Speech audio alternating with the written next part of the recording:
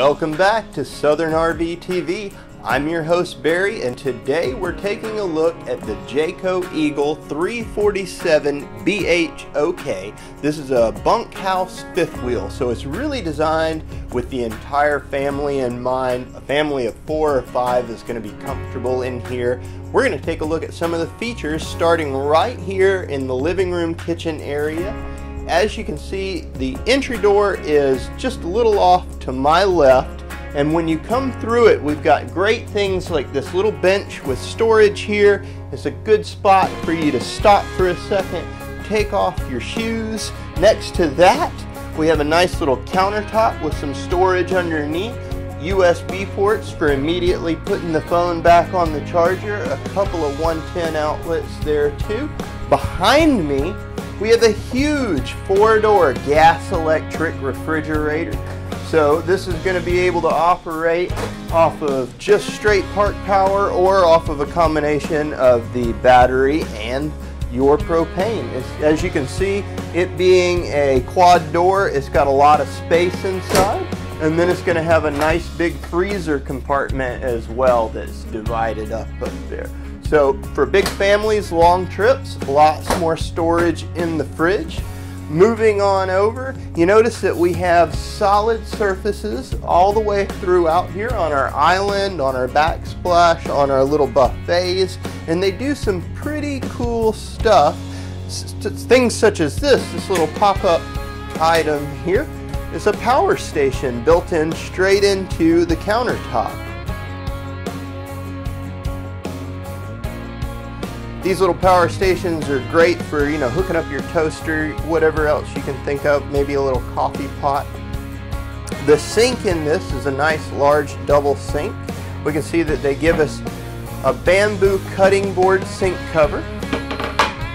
And then they give us another great little feature too, and it's just a, it's like a strainer. You could set your uh, you know, wet items onto it. It sits directly on top of the sink there so that anything will drain straight on past and down into the sink below while keeping items up above dry. Kind of a slick little feature up above your big stainless steel sink. Uh, behind me you can see that we have a flush top glass finished stove. So this simply flips back to reveal the three burner propane stove with oven down beneath and a microwave up top.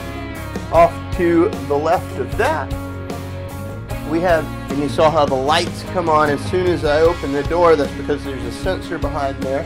But that is going to be a nice adjustable pantry. So these shelves can go up and down to accommodate for larger or smaller items. And then moving out of the kitchen area and into more of the living room, we have our entertainment center, which is pretty slick.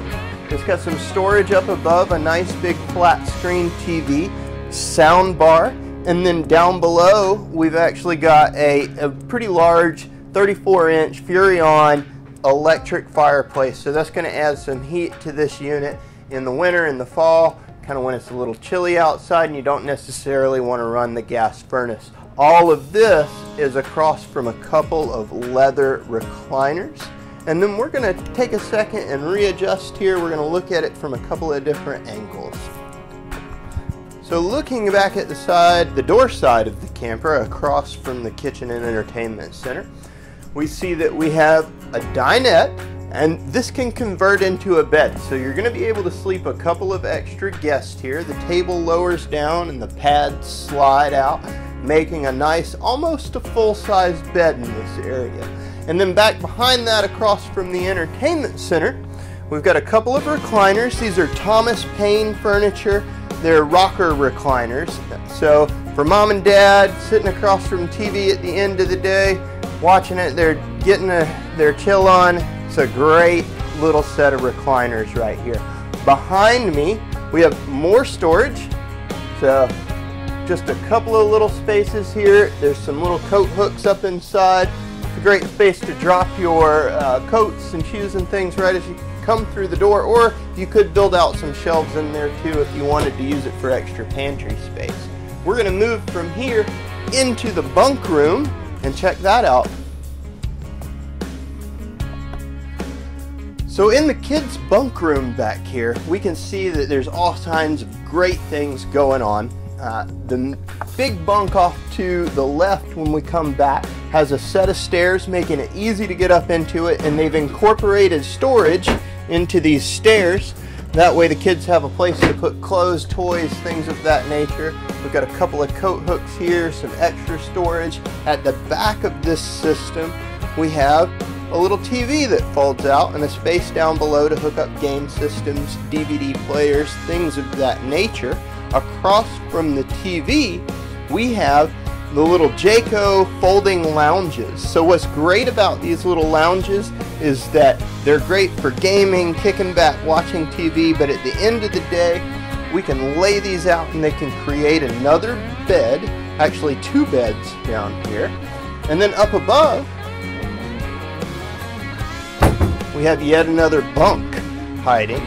So Back here we can easily sleep four and entertain a good handful of kids for hours while mom and dad are up front watching their own TV. And to top it all off, as we move back behind that entertainment center, we notice that the kids have their own half bath back here. Another cool thing is that each of these lights has a little glow button on it so that the kids can identify it at night and not only that, we have a nice blue LED mood light so that we have kind of a night light as the night goes on back here. The bedroom of the Eagle features a beautiful king bed and lots of space to walk around the base of it but due to the bed being on a slide. In addition to having a standard closet, we see that we've got a large set of chest of drawers. And then also, we have a closet with removable shelving so that we can put in a washer dryer.